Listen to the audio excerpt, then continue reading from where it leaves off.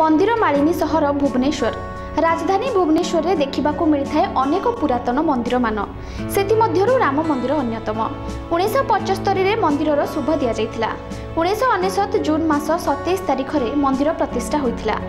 ଭୁବନେଶ୍ୱର କେନ୍ଦ୍ର କୁହାଯାଉଥିବା ଖାରବେଳ ନଗର ନିକଟରେ ରାମ ମନ୍ଦିର ଅବସ୍ଥିତ। ମନ୍ଦିର ପରିସରରେ ରାମନବମୀ ଶିବରାତ୍ରି ବିବାହ ପଞ୍ଚମୀ ଜନ୍ମାଷ୍ଟମୀ ଦଶହରା ଓ ପଣା ସଂକ୍ରାନ୍ତି ଉତ୍ସବ ପାଳିତ ହୁଏ। ପ୍ରାଇଭେଟ୍ ଟ୍ରଷ୍ଟ ବୋର୍ଡ ଦ୍ୱାରା ରାମ ମନ୍ଦିର କାର୍ଯ୍ୟ ପରିଚାଳିତ ହୋଇଥାଏ। ପ୍ରତିଦିନ ମନ୍ଦିରରେ ଶ୍ରଦ୍ଧାଳୁଙ୍କ ଭିଡ଼ ଲାଗିଥାଏ। ମନ୍ଦିର ପରିସର ମଧ୍ୟରେ ଛୋଟ ବଡ଼ ଦୋକାନ ମଧ୍ୟ ରହିଛି ଯାହାଦ୍ୱାରା ମନ୍ଦିରକୁ ଆସୁଥିବା ଶ୍ରଦ୍ଧାଳୁମାନେ ପୂଜନ ସାମଗ୍ରୀ କିଣିପାରିଥାନ୍ତି। ଶାସ୍ତ୍ର ଅନୁସାରେ ମନ୍ଦିରର ସବୁ ରୀତିନୀତି କାର୍ଯ୍ୟ ସମ୍ପୂର୍ଣ୍ଣ ହୋଇଥାଏ। ବିଭିନ୍ନ ପ୍ରକାରର ସାମାଜିକ କାର୍ଯ୍ୟ ମଧ୍ୟ ମନ୍ଦିର ପରିସରରେ ହୋଇଥାଏ। ଭୁବନେଶ୍ୱରରୁ ମାନସଙ୍କ ରିପୋର୍ଟ ମେଟ୍ରୋ ଟିଭି।